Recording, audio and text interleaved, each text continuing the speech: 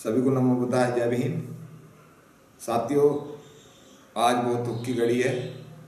आज के दिन जो दो अप्रैल है, हमारे समाज के तेरह बच्चे जो शहीद हुए, उनको सम्मान एक अधिकार की तरफ़ से, सम्मान एक अधिकार के समस्त जो पदाधिकारी हैं, जो समस्त कार्यकर्ता हैं, जो बाबा साहब की विचारधारा को आगे बढ़ाने का काम करते हैं सभी की तरफ़ से मैं हाथ जोड़कर उन्हें सच्ची श्रद्धांजलि अर्पित करते हैं हम। क्योंकि वो तो चले गए, लेकिन हमें जीवन दान वो दे गए।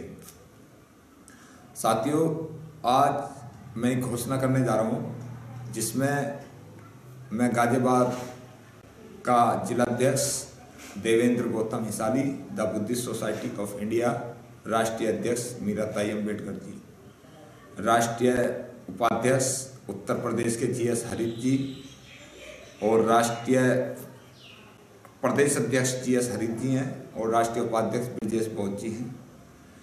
प्रदेश अध्यक्ष आज वर्तमान में जयसिंह सुमन अलीगढ़ जी हैं।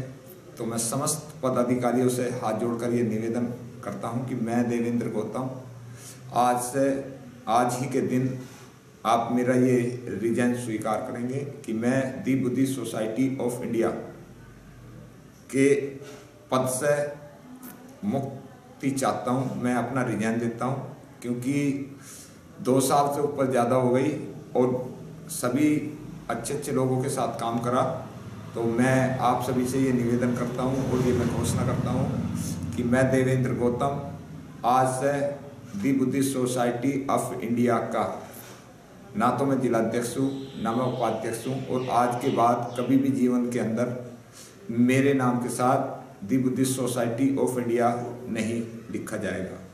हम सम्मान एक अधिकार यूट्यूब जो चैनल चलता है, बाबा साहब की विचारधाराओं को गाँव गाँव में फैलाने का कार्य करता है, उसी के माध्यम से हम जीवन भर तक जब तक सांस रहेगा, बाबा साहब की विचारधारा, साहब काशीराम की विचारधारा, भगवान बुद्ध की विचारधारा को फैलाते रहेंगे। मैं केवल आजीवन उसका सदस्य रहूँगा, जैसा एक सिंपल आदमी होता। मैं किसी भी कार्यकर्ता, किसी भी पद पर आज के बाद नहीं रहूँगा। मैं ये आज दो अप्रैल शहीदों के सम्मान में ये घोषणा करता हूँ। साथियों, इसका विषय है, इसकी वजह है। वजह यह है कि the Buddhist society of India के तीन तीन अध्यक्ष बताए जाते हैं।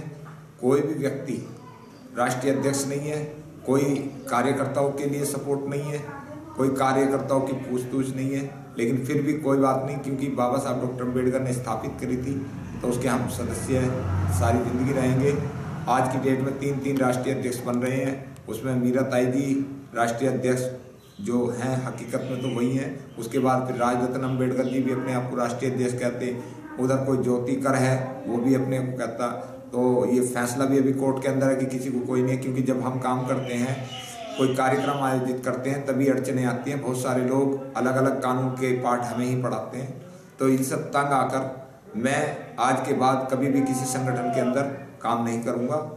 ये मेरी आप सभी लोगों को सूचना है। इसे ज़्यादा से ज़्यादा सभी पदाधिकारियों को ये वीडियो भेज दी जाएगी।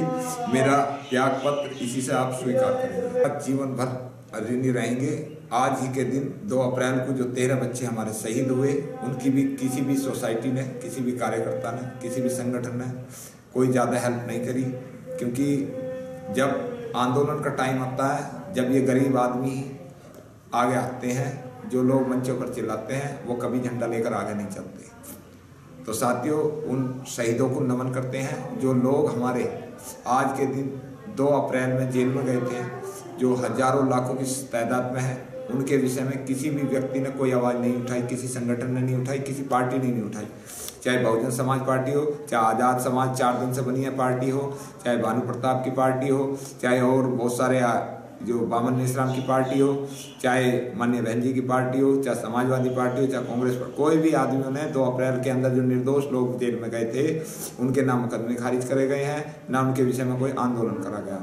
हर आदमी एक लक्ष्य लेकर चल रहा है कि बस बाईस में हम मुख्यमंत्री बन जाए, बाईस में हम मुख्यमंत्री बन जाए, बाईस में हम मुख्यमंत्री बन जाए उत्तर प्रदेश के। लेकिन जो लाखों, हज़ारों करोड़ों लोग जेल में ठूसे, जिन पर मुकदमे चार सौ बीसी से ठोके गए, ज़बरदस्ती ठोके गए। उनके विषय में किसी भी व्यक्ति ने, किसी भी आदमी ने न विधानसभा में आवाज़ उठाई, ना ही लोकसभा में आवाज़ उठाई, ना राज्यसभा में उठाई।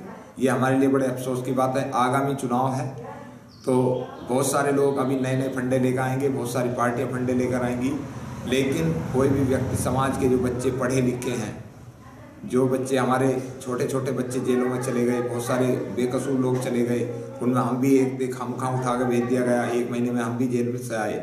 तो बहुत सारे लोग इसमें वो हो गए।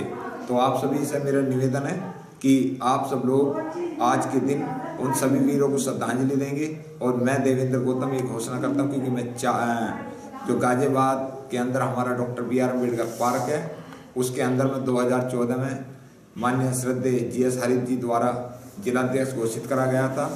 मंच पर शांति स्वरूप घोष जी भी थे, डॉक्टर शेरा जी भी थे और बहुत गणमान्य व्यक्ति थे। तो मैं आज देवेंद्र गौतम पूरे होश हवास में ये घोषणा करता हूँ कि आज के बाद बुद्धिस्ट सोसाइटी ऑफ़ इंडिया का मैं कोई भी लेवल अपने साथ नहीं लगाऊँगा और मेरा ये त्यागपत्र सभी लोग स्वीकार करें। नमो बुद्धाय, जय भीम